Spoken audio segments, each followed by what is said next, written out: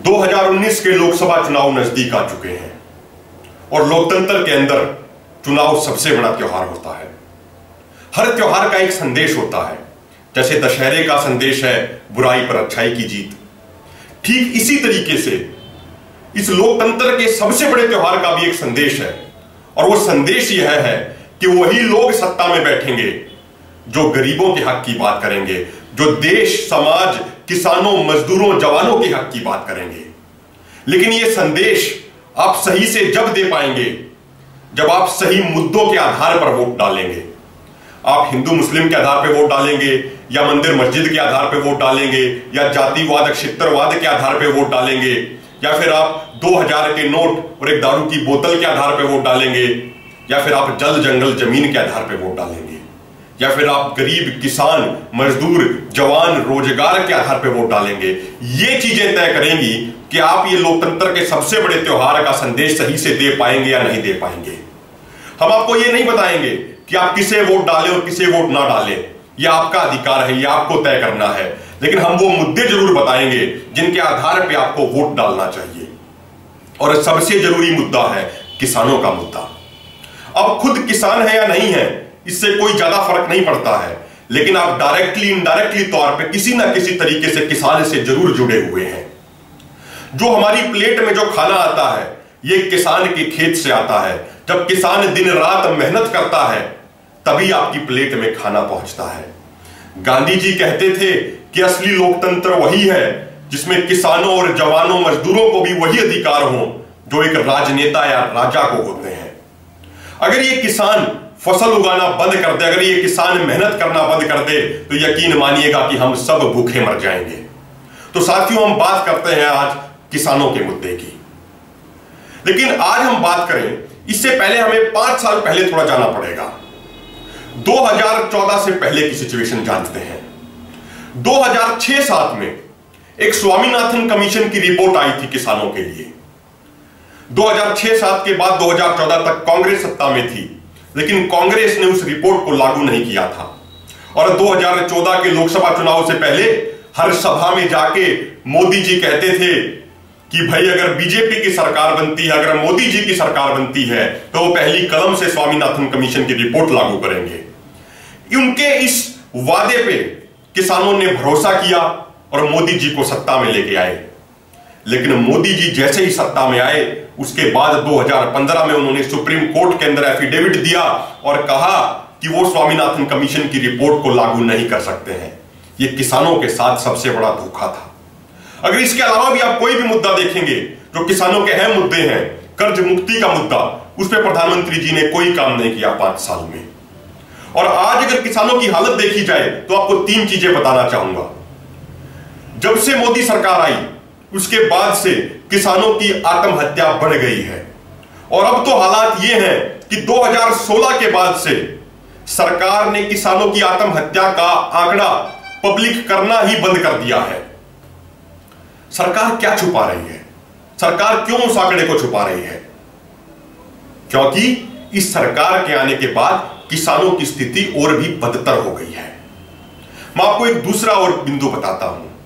अभी कुछ दिन पहले एक डाटा आया और वो डाटा कहता है कि जो एग्रीकल्चर इनकम का ग्रोथ है, जो कृषि आय की ग्रोथ है, वो पिछले 14 साल के सबसे निचले स्तर पर पहुँच चुकी है।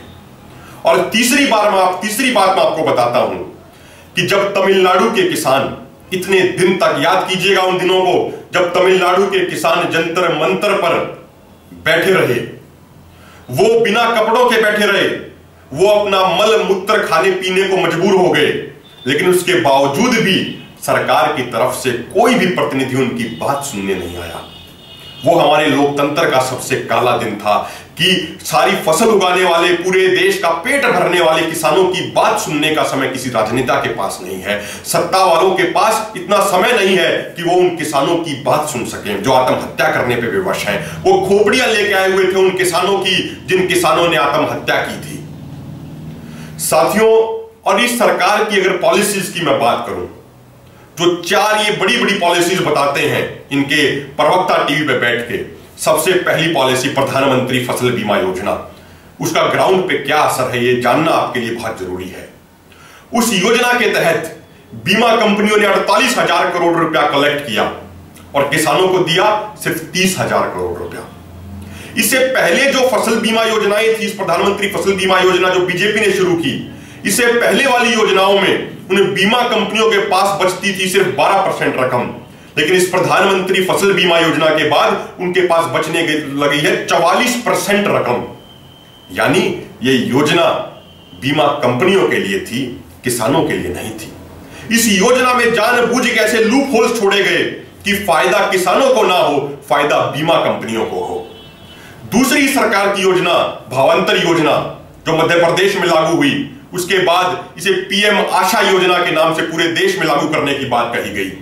यह भावांतर योजना ने किसानों को लूटने का काम किया है। इसमें पूर्ण खरीद की गारंटी का कानून ही नहीं था। यानी अगर एक किसान आठ क्विंटल अपना अनाज पैदा करता था तो सरकार कहती थी, हम एक क्विंटल भावांतर के तहत खरीदेंगे, जिसके तहत, जिस रेट पे किसान अपनी फ़सल बेचता है और जो उस फ़सल का एमएसपी है उसके बीच का जो डिफरेंस होगा, वो सरकार को पे करना होता था। तो सरकार कहती थी, हम सिर्फ़ एक क्विंटल खरीदेंगे, बाकी सात क्विंटल आपका नहीं खरीदेंगे। यानी वो सात क्विंटल उस किसान को उसी व्यापारी के पास लेके जाना पड़ता था, जो उसका शोषण करता था। और इस हालात में उस व्यापारी ने इस किसान का और भी अधिक शोषण किया। इसी योजना को पूरे देश में लागू करने के लिए नाम दिया गया पीएम आशा योजना। लेकिन इसमें भी कहा गया कि सिर्फ़ पल्सीज का जो प्रोडक्शन होगा, उसका भी सिर्फ़ 25 परसेंट सरकार खरीदेगी। लेकिन ये 25 परसेंट का भी ग्राउंड पे कहीं नहीं है। इस योजना को सफलतापूर्वक देश में लागू करने के लिए चाहिए था सवा लाख करोड़ रुपया। लेकिन सरकार ने आवंटित किया दस हज़ार करोड़ रुपया। वो आवंटित पैसा भी कहा गया, किसी को नहीं मालूम है। तीसरी योजना आ जाइए सॉइल हेल्थ कार्ड योजना। वो योजना से क्या फ़ायदा हुआ किसानों को, ये किसी को नहीं मालूम है, क्योंकि कोई फ़ायदा ही नहीं हुआ। उन्होंने गलत आधार पे ये सोयल की गुणवत्ता को जांचा। जितना एक एवरेज लैंड लेनी चाहिए थी सॉयल की गुणवत्ता को जांचने के लिए, उससे ज़्यादा लैंड को एवरेज लैंड के तौर पे लिया गया। एक अधिकारी के लिए बहुत ज़्यादा ज़मीन दे दी गई, ज़मीन की गुणवत्ता मापने के लिए। इसीलिए सॉयल हेल्थ कार्ड योजना भी सरकार की पूरे तरीके से फ्लॉप रही। अब मैं आपको एक चीज़ और बताता हूँ साथियों। अगर बात दूसरी पार्टियों की की जाए, बात कांग्रेस की की जाए तो पंजाब में चुनाव से पहले इन्होंने भी कर्ज मुक्ति का वादा किया था। ये सत्ता में आए, किसान इनको सत्ता में लेके आए, लेकिन उसके बाद इन्होंने पंजाब ने क्या किया? इन्होंने भी सही तरीके से अपना वादा पूरा नहीं किया। चुनाव से पहले इन्होंने कहा था कि हम पूर्ण कर्ज मुक्ति करेंगे। चुनाव जीतने के बाद इन्होंने कहा कि सिर्फ़ उन्हीं किसानों की करेंगे जिनके पास दो हेक्टेयर तक ज़मीन है। इन्होंने कहा सिर्फ़ उन्हीं किसानों का हम कर्ज माफ़ करेंगे, जिनके पास सिर्फ़ दो लाख तक का कर्जा है। अगर किसी के पास एक रुपए का भी ज़्यादा कर्जा हुआ तो वो इस सरकार ने माफ़ नहीं किया।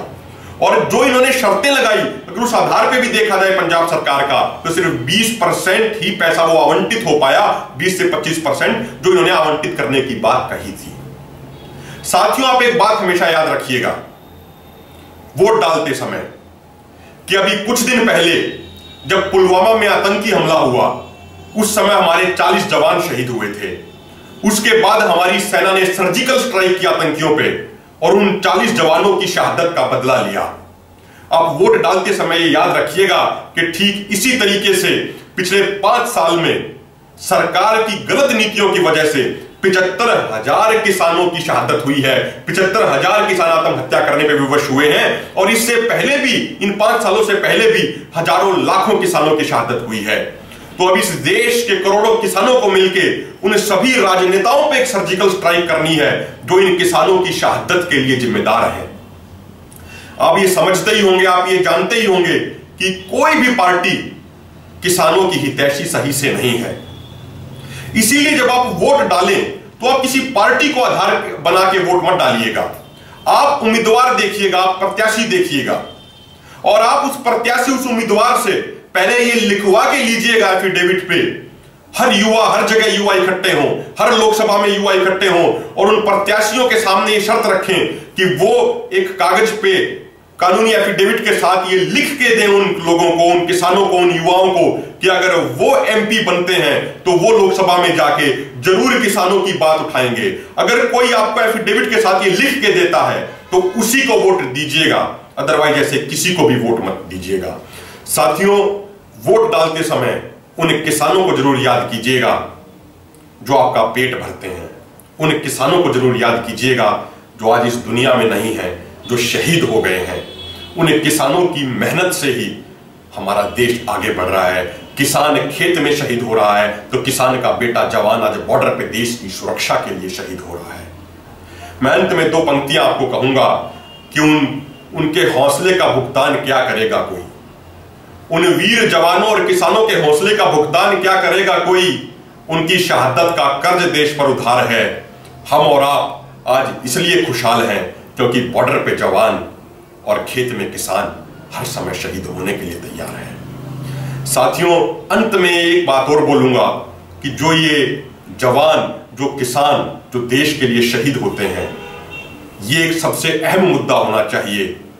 आप जब वोट डालें तो उन्हें किसानों को ज़रूर याद करना, जो हमारे और आपके लिए शहीद हो गए, जो हमारे और आपके लिए दिन रात मेहनत करते हैं और हमारा पेट भरते हैं। शुक्रिया, धन्यवाद। जय जवान, जय किसान, जय भारत।